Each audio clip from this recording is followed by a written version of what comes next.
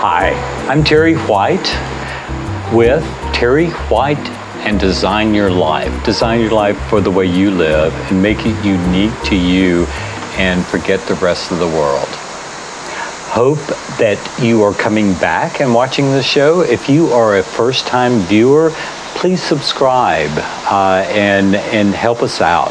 But what we're going to do is we're going to start at the bar. And I know if you watched the show before, you've seen the bar, but the bar is a, in a constant state of tweaking. I've moved the chandelier, I've moved it back over where the bartender would be, or more centrally over the bar.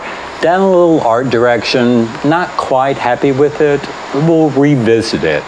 Uh, new shades on the Veuve lamps. Uh, the shades, I just bought very inexpensive shades and I painted them with Rust-Oleum paint, which is waterproof. Uh, and uh, they are outside, even though they're under cover, moisture is still sort of an issue. But I painted them to match the base of the of the bar because I wanted a little bit more cohesive, you know, kind of feel. Um, but other than that, uh, I have added a couple of wine coolers, uh, a red wine and a white wine, uh, because that's what the masters of the house drink.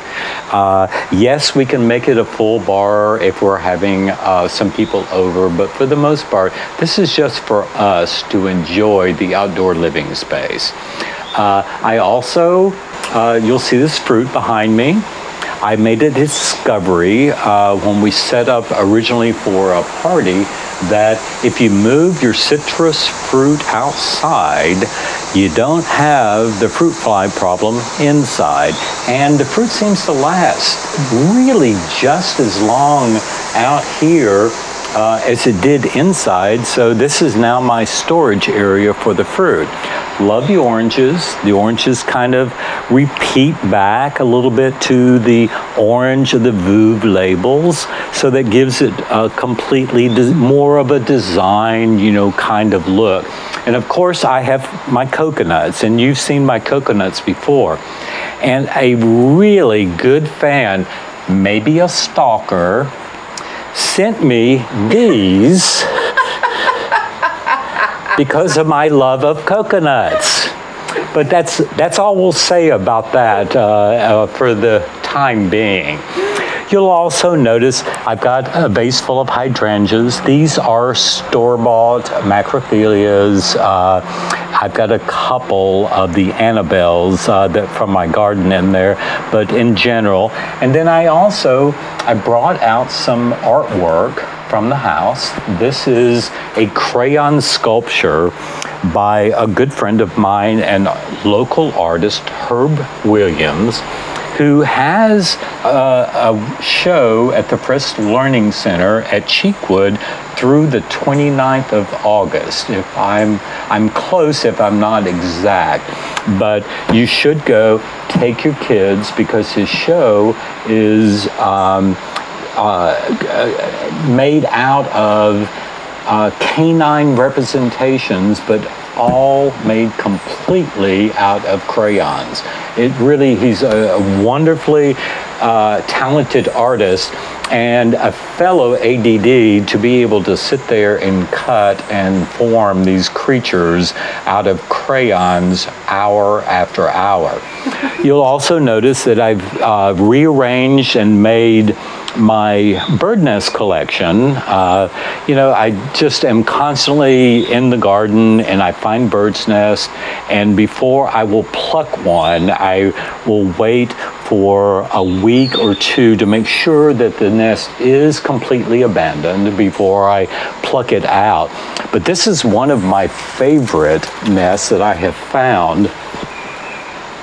And it was in a Norway pine, but oh my God, the yeah. artistry. I just really, really one of my favorites. But we're starting at the bar Yes, we should end at the bar, and we will at some point. But let's go, let's talk about some other fun things.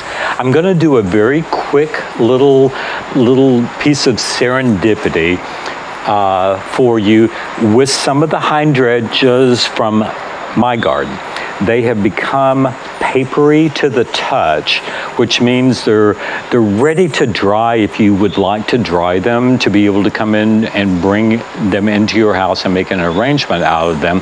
But also, um, they are perfect without drying completely. But if you want to dry them for inside the house, lock them in your car for 24 hours. That will uh, completely evaporate all the moisture from them and you won't get mold or brownie uh, kind of texture. And they'll last for a year or even longer. They do fade. But I have just chopped some with a pair of scissors. And you see this mess down front? That was take one. Emily's making me do it again. Anyway, uh, just randomly. This this is not brain science, brain surgery. You just randomly cut them, make a pile, spread them out the way you want them to be. Now, you can make the center heavy, or you can make the outside heavy. But really, just a pile of chopped up hydrangeas. Then you take your second piece of glass like I showed you back last fall when we did a cake stand. And you instantly have a wonderful, wonderful party table. And this will last for uh, really three or four weeks. Uh, the one that I had there previously lasted uh, for about three weeks. But this is um, the kind of thing that we have done over the last two or three months uh, because wedding season is coming back some. People are excited and they're wanting to get out and make beauty. We have spread so much beauty over the city in the last couple of months. It's, it's hard to say.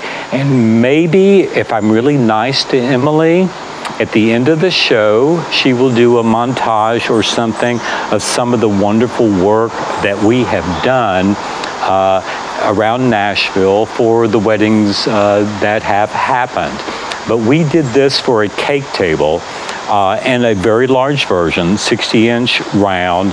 Uh, with two pieces of 60 inch glass for a cake and then decorated the cake with the same wonderful green hydrangeas. Now, I know everybody wants to be me. Everybody wants to work with flowers all day long. They want to play.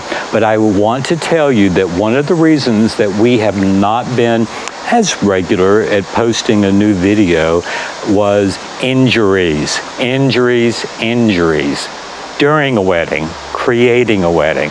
Uh, broken toes, peeled back toenails, lost teeth, all because of a door a heavy door on the front of a church that Terry happened to be hanging a wreath on the door at the moment that his most wonderful, exuberant employee burst out of said door and cold cocked me.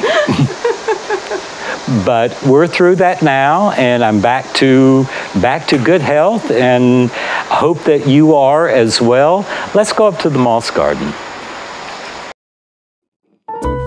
And here we are up in Terry's beautiful moss garden in full sun. This is where it all began. Happy one year anniversary to Design Your Life with Terry White.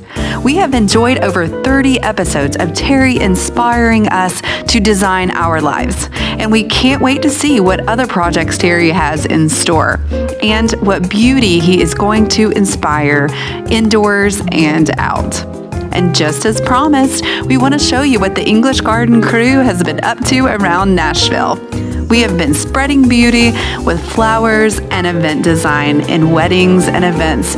We're so happy to be back, and we're glad that everything is starting to look a little bit more normal now.